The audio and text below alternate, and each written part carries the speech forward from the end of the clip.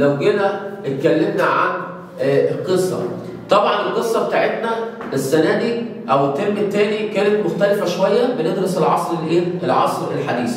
طبعا عرفنا مع بعض إن مصطفى كامل آه، هنقول أهم الأسئلة كده يا جماعة اللي بتيجي في الامتحان. اصدر مصطفى كامل صحيفة اللواء المصرية. طبعا وبعد كده قلنا لتكون شبه مدرسة تعلم المصريين حقوقهم وواجباتهم. قلنا طبعا بعد كده آه، حمل آه، راية الكفاح والجهاد بعد مصطفى كامل هو محمد فريد الذي مات فقيرا. كلنا عارفين الكلام ده. بعد كده قلنا برضك ماذا تعرف عن آه، طبعا صفقة الأسلحة الفاس- الفاسدة.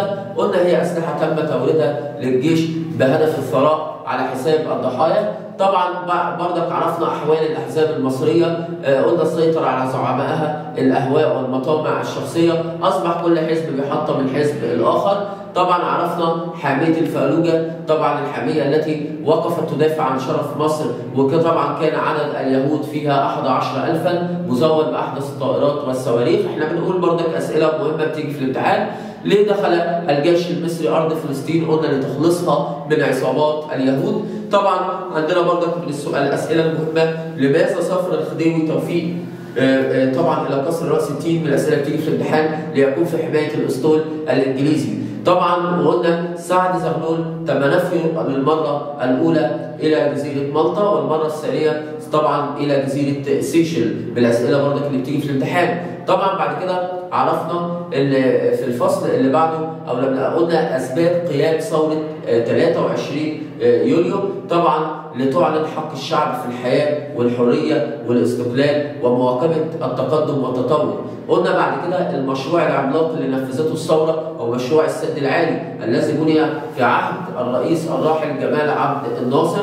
طبعا قلنا اثره على الزراعة تحويل مليوني من الأفدنة من صحراء إلى أرض زراعية طبعا وجعل مصر أكبر الدول المصدرة للارز طبعا لزراعة 700 ألف أتاح لزراعة 700 ألف فدان من الارز سنويا عرفنا في الصناعة توليد الطاقة الكهربائيه التي تعتمد على الصناعات الثقيله طبعا خدنا أنواع أو نوعين من الحرية. قلنا الحرية الكاذبة والحرية الحقيقية اللي هي المصونة. قلنا إن الحرية الحقيقية هي الحرية التي تحميها المزارع والمصانع.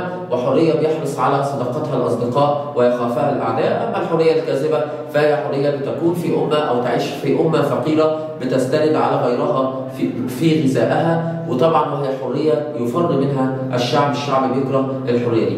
طبعا بعد كده اتكلمنا برضك عن حاجات مهمة جدا في القصة. آه قلنا عندنا بتاع ده آه الساتر الترابي. الساتر الترابي ده قلنا آه الهدف من آه، الساتر الترابي اللي اقامته إسرائيل.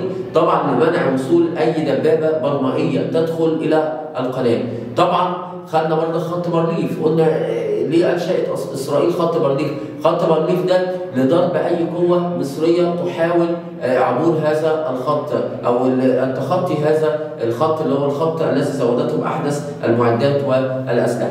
طبعا برضك عندنا أو خدنا برضك في المنهج بتاعنا الشاويش محمد دورو هذا الشاويش وده السؤال بيجي في الامتحان الذي لم يخسر جندي واحد ما خسرش جندي واحد طبعا وتم ترقيته إلى رتبة ملازم آه، ثاني. طبعا في حاجة برضك مهمة عندنا اللي هي فتيات آه، بورسعيد الفتيات الأبطال اللي هم آه، قاوموا آه، الإنجليز في مكتب البرق بورسعيد ورفضوا تسليم هذا المكتب للإنجليز وعرفنا إن طبعا الإنجليز عملوا حيلة لما رفعوا الراية البيضاء ليوهموا الرجال المقاومة الشعبية بأن الفتيات استسلموا.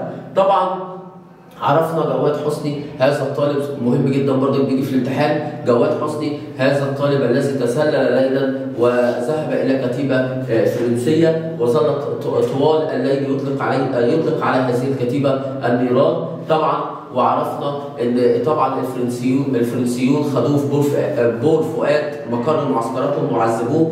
طبعا آه، وفي النهاية طبعا آه، تم قتله بالرصاص قتلته فرنسا لأن ده كان بطل.